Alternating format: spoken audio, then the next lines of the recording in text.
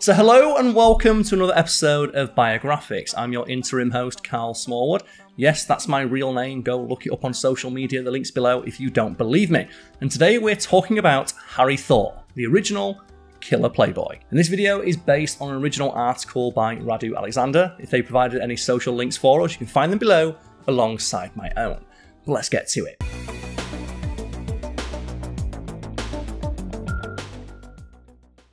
Trial of the Century. It's a short and snappy phrase that grabs people's attention.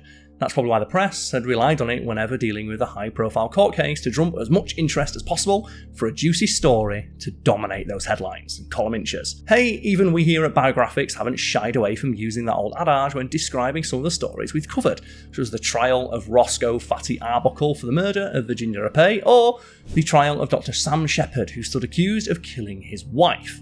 Uh, those videos were presented by our previous, far more aerodynamic host, Simon Whistler, who, you know, we wish him all the best, and hopefully I'm doing good in his stead. But today we're going back even further to one of the first cases to ever earn the moniker of Trial of the Century, and to this day is still one of the most intriguing and shocking. The 1906 murder of renowned American architect Stanford White at the hands of the mentally unstable playboy Harry Thaw, ostensibly to protect the honour of his wife, famed supermodel Evelyn Nesbit. So, what made this case so compelling? One contemporary reporter listed all the qualities of this murder scandal that gripped the nation. You see, it had in it wealth, degeneracy, rich old wasters, delectable young chorus girls, and adolescent artists, models behind the scenes of theatredom with the underworld and the Great White Way, the abnormal pastimes and weird orgies of overly aesthetic artists and jaded debauchees. This is the story of a love triangle that ended in murder and became front page news all over the country as America waited to find out with bated breath what fate would befall Harry Thaw,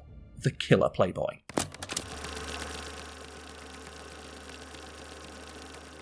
Harry Kendall Thaw was born February 12, 1871 in Allegheny City, Pennsylvania, today a part of Pittsburgh, to William Thaw Sr. and his second wife, Mary Sibbet Copley. To say that Harry was born with a diamond studded silver spoon in his mouth would still be an understatement. His father was a railroad magnate, estimated to be among the 100 richest people in America at the time. Unsurprisingly, young Harry lacked for nothing in his life, even though from childhood he exhibited paranoid behaviour and was prone to outbursts of violence. At no point did anybody ever really try to do anything to correct his conduct, punish his actions, or even try and get him professional help. It was probable that he struggled with some kind of mental illness. Instead, if Harry got into trouble at school and got expelled, his father would simply move him to another fancy private school. Yeah, the, the, the Patrick solution from SpongeBob, just like take the problem, move it somewhere else. From a young age, Harry was taught that his money and social status placed him above the rules of society, which were used to govern us mere mortals. Acting the way he did, Harry never really did well in school, but this mattered little. When it was time for college, his father made sure that he got accepted into the University of Pittsburgh to study law. There was little studying to be had though, and soon enough, Harry would have even less incentive to do so. In 1889, William Thaw died, leaving behind a giant trust fund for Harry and a generous yearly allowance. And by generous, we mean more money than most mere mortals could spend in several lifetimes. Harry Thaw was now a very, very rich man and free to indulge in his every whim. And not that his father was ever a drill sergeant or anything when it came to raising him, but his mother was even more nonchalant about his behaviour. Uh, he was her first child, so he was the apple of her eye, and throughout the rest of her life, she would always be more concerned with protecting her son from the consequences of his actions rather than trying to get him to rein in his ways and stop being a up until this point, Harry wanted to attend the University of Pittsburgh because it meant he could go home to his palatial estate instead of living in a cramped dormitory. Now, however, finding suitable living arrangements was no longer a concern, so he used his newfound wealth to transfer to Harvard. And this was only done for bragging rights, and so that Thaw could say he attended the prestigious Harvard University. Just like before, he had no interest in any of the scholarly pursuits that college had to offer.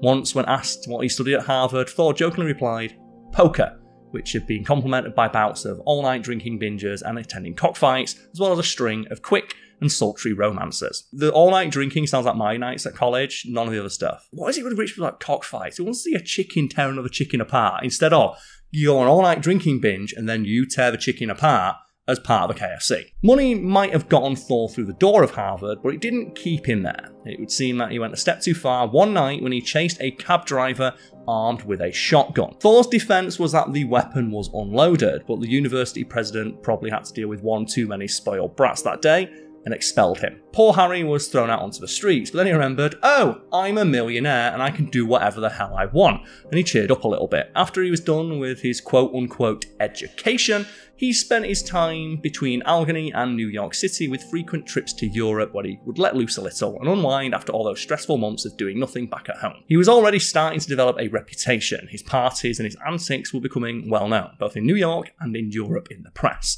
There was even a popular new word used to describe the lifestyle of someone like Harry Thaw that of a playboy.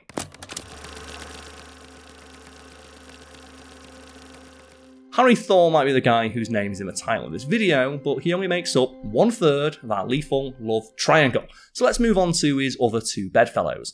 First up is Evelyn Nesbit, a woman once dubbed the most beautiful artist model in the world, and regarded by some as the world's first true supermodel. With that kind of claim to fame, it's no surprise really that men were willing to quite literally kill for her. But we're getting ahead of ourselves. Florence Evelyn Nesbit was born on Christmas Day oh, in 1884 in a small community just outside of Pittsburgh, Pennsylvania. The family moved to the city a few years later where Evelyn's father, Winfield Scott Nesbit, worked as a lawyer who was struggling to make ends meet. Things got significantly worse when Winfield Scott passed away, leaving his family in debt without a source of secure income. It was a desperate time for the Nesbits, but fortunately for them, Evelyn grew into a stunning beauty from a young age. She was first asked to pose for a portrait by an artist from Philadelphia when she was only 13 years old. Afterwards, she posed for a photographer, and her pictures made it into art magazines that garnered a lot of attention. It wasn't long before she was one of the most in demand models in Philadelphia, and the money she was earning was enough to support her young family. Seeing this, Evelyn's mother realised that this could not only be a viable but highly lucrative career for her daughter.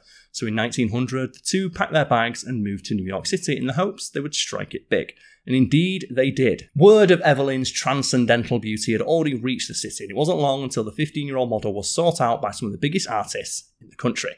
James Carroll Beckwith was the first painter in New York City to take young Evelyn under his wing, and he introduced her to many prominent names in the art world. She posed as a Gibson girl for Charles Dana's Gibson drawings Women, The Eternal Question, and George Grey Barnard's sculpture Maidenhood parentheses, Innocence. Not to mention countless magazines such as Harper's Bazaar and Vanity Fair. But it was in Gibson's studio that Evelyn met the third and final piece of our puzzle, a man by the name of Stanford White. 30 years her senior, Ew, Stanford White was already one of the biggest hotshots in the architectural world by the time he met Evelyn.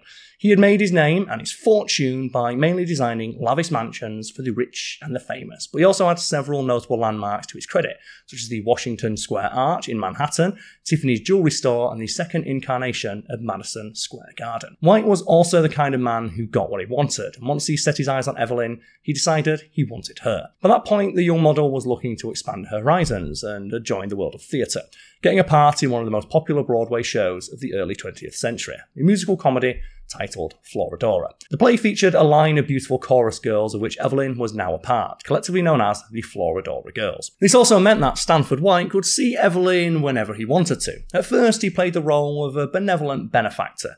He started out with some compliments, then he bought Evelyn a few gifts, and before you know it, he was putting her up in a luxurious apartment and giving her an allowance. Of course, all of this was simply the prelude to what White was really after. One night, Evelyn's mother was away in Pittsburgh visiting relatives, and it was just the two of them, and White made his move. Again, I reiterate, ew. What exactly happened that night depends on whose account you believe, but at best, the architect got a 16 year old girl drunk and took advantage of her. At worst, he drugged and raped her. She was 16, it was rape. What an.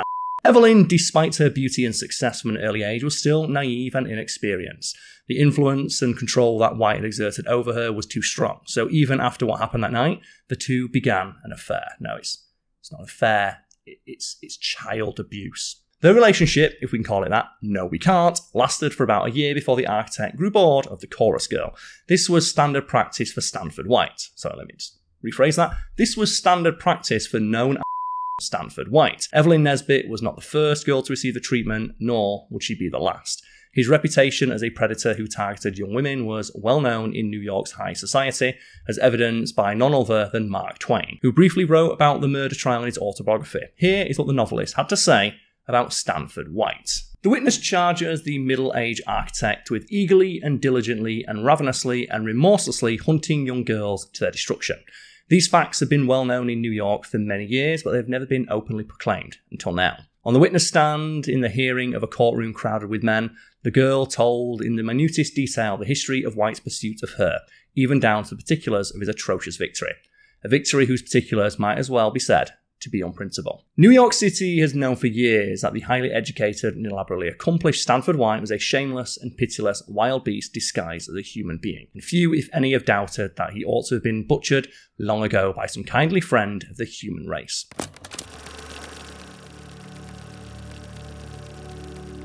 During one of Stanford White's famous parties, Evelyn made the acquaintance of 21 year old John Barrymore, part of the illustrious Barrymore acting family, and the two quickly became smitten with one another. Although John Barrymore would go on to achieve great fame in his career, this version of him, however, was a young, struggling artist who mainly did illustrations for newspapers and the like. Evelyn's mother did not approve of their budding romance, so when Barrymore proposed marriage, she sent her daughter away to a boarding school in New Jersey. When she was still performing on Broadway, Evelyn followed up her successful stint in Florodora with a part in The Wild Rose, where she had a more prominent role instead of simply being a chorus girl. Once again, she dazzled her adoring public, and among the audience, left smitten by her beauty, was none other than the villain of today's piece, Harry Thaw. At first, Harry tried to win Evelyn over under the guise of Mr. Monroe, and sent her lots of expensive flowers after each performance of The Wild Rose, often accompanied by a $20 or even $50 bill. What a romantic. This alone was hardly enough to make Evelyn swoon. After all, she had plenty of rich men vying for her affection. She was not impressed and had most of the gifts sent back. Eventually, Thaw tries scheduling a lunch date with the actress through a common acquaintance, and as it happened, he picks the perfect time. Evelyn was feeling pretty down about the whole having to return to boarding school and being abused thing, so she thought she might as well meet up with the mysterious and friendly Mr. Monroe. At the very least, it might make for an intriguing interaction. When the two were face to face, the Playboy dropped the fake name and facade and announced himself proudly as Harry Thaw of Pittsburgh, his favourite way of introducing himself. But this left the actress more bemused than impressed. The luncheon did not go particularly well, and Evelyn felt relief when Thaw departed. But he was not the kind of man to give up so easily. He continued his dogged pursuit of her, partly out of passion, but also out of desire to harm and humiliate Stanford White. You see, when and how exactly the uh, animosity between the two men started, we cannot say. We can tell you that Harry Thaw loathed the architect before he'd ever heard of Evelyn Nesbit. This may have all begun with a single bad interaction at a party, but in Thaw's paranoid mind, he soon became convinced that Stanford White had made it his mission to turn him into a social pariah, and used his many connections to deny Thaw entry into the most prestigious clubs in New York, such as the Metropolitan, the Knickerbocker, and the Players Club. It couldn't be that he was just a paranoid. Anyway, the Playboy millionaire kept trying to woo Evelyn, although he had more success winning over the girl's mother than Evelyn herself. Then an opportunity presented itself for Thaw to show his dedication towards the young actress. Evelyn fell ill with appendicitis, been there.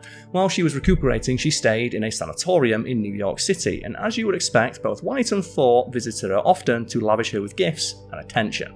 However, by the time she returned home, White was starting to get bored with her and was ready to move on to the next showgirl. Harry pounced on this moment and convinced Evelyn's mother to let him take her daughter on an extended trip to Europe in May 1903 to aid in her recovery. I, guess just 1903 was just a different, just let your child go with a mysterious millionaire stranger time. At first, he was the perfect gentleman, even as Evelyn continuously rebuffed his offers of marriage and romance. Then Things changed when he finally got her to recount how Stanford White took advantage of her. Outwardly, he was caring and consoling towards Evelyn. He said all the right things, but there was a definite change in his demeanour. He became colder and started making snide remarks, not only towards White, but also towards Evelyn. While visiting Domremy, the birthplace of Joan of Arc, Thaw wrote in the guest book that she would not have been a virgin if Stanford White had been around. Just, um, pro tip for any women watching if guys start talking like this, leave. Just go. It's not worth it. Just throw the whole man out. While in Austria-Hungary, Thaw rented out Katzenstein Castle, where the couple stayed for a few weeks. In that remote edifice, where the two were isolated and alone except for a few servants who stayed at the opposite end of the castle, Evelyn saw for the first time the true Harry Thaw. One night, he burst into her room naked. He began tearing at her nightgown and whipping her violently with a riding crop. The harder she fought, the harder he hit her, till the body was full of long, bloody lacerations. He then proceeded to assault her the same way as White had done years earlier.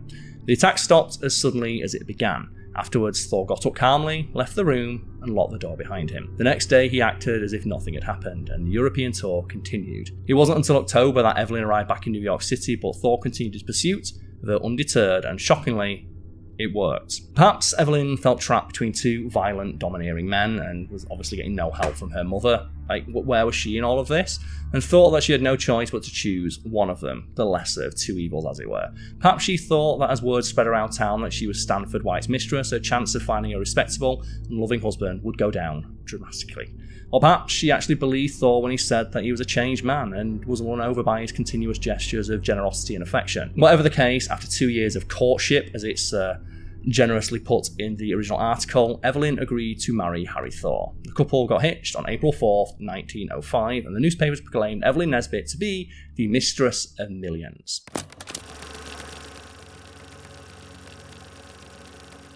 Before their wedding, Thaw had promised Evelyn that he would behave like a Benedictine monk from then on. He even had the audacity to tell her that he forgave her for the relationship with White, you know, the relationship where she was raped.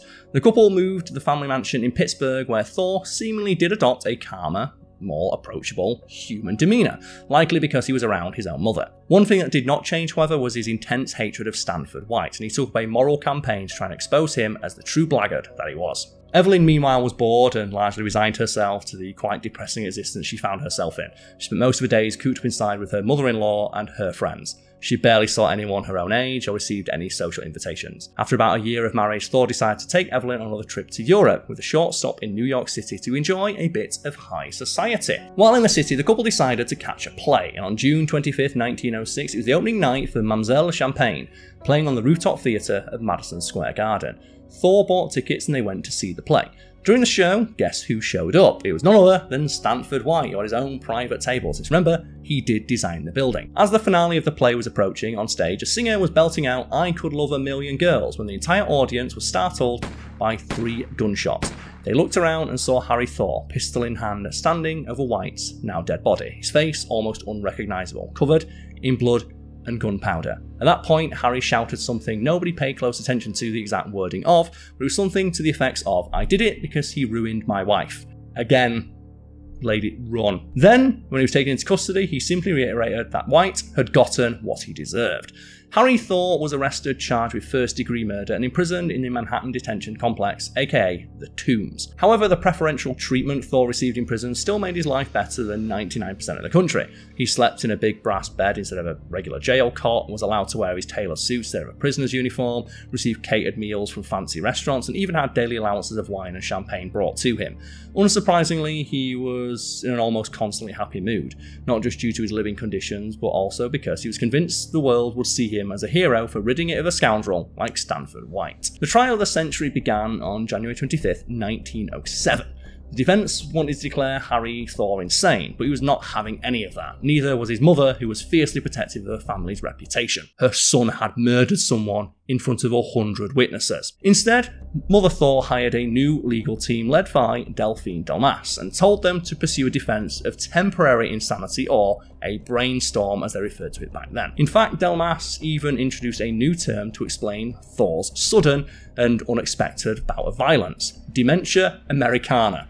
He argued that there are certain things that are sacred to the American man, the honour of his wife being chief among them. So it was understandable, even justifiable, that Thaw temporarily lost control of his senses in order to avenge the honour of his wife. And here's the thing some jury members actually bought this. The first trial deadlocked 7 to 5 in favour of guilty. The second trial began in January 1908 and lasted only a month. This time, Thaw's team went after the insanity defence without any bells and whistles, and it worked. Harry Thaw was found not guilty by reason of insanity and was committed to a state hospital for the criminally insane. Obviously, his team went immediately to secure his release, but this didn't work. So in 1913, they just busted him out. They colluded with a keeper to get Thaw out of the building and transported him over the border to Canada, where another team of high priced lawyers had already secured the rights to fight any extradition attempts. It wasn't until 1915 that he was extradited to New York when he was charged with conspiracy to escape. Conspiracy? He was in Canada! Like, I get it, like, you know, the, the the the gears of the legal system move slowly, but they do grind finely. But conspiracy to escape when he's already escaped seems like you know a bit lacking in regards to like you know the severity of what you tried to accuse the person of. Two trials later, and on July 16, 1915, Harry Thaw was declared not only legally sane, but also a free man, since technically he couldn't be tried again for the same murder he'd already stood trial for, which I didn't think was a re- I didn't think double jeopardy was a real thing, but here we are. The district attorney rightfully decried this decision as a gross miscarriage of justice, made possible only thanks to Thaw's vast fortune and his mother's own machinations. Just rich people don't go to jail the same way, do they? And did Thaw learn a lesson? No. Uh, once he was free, he divorced Evelyn and went to California, where he once again indulged in bouts of sadism. Less than a year later, he was charged with beating and whipping a 19 year old boy called Fred Gump. Thaw fled from the police, and when they finally caught with him in Philadelphia, he tried to commit suicide by slashing his own throat. He survived, but this was enough to get him declared insane again and sent to an asylum again. No escapes this time, and Thaw spent seven years in there before being released. After that point, he stayed away from the headlines. If he continued his streak of violence and cruelty, he managed to do it without anyone really finding out. And he died on February 12, 1947. He was 76 years old. For anyone curious about Evelyn's fate, uh, she did have a child with Thaw, or at least she claimed, because Thaw disowned the child and claimed it wasn't his. After their divorce, she was forced to earn an income and return to the stage, appearing in a couple of silent films before finding steady and long career in vaudeville and cabaret shows. She died on January 17th, 1967. She was 82 years old.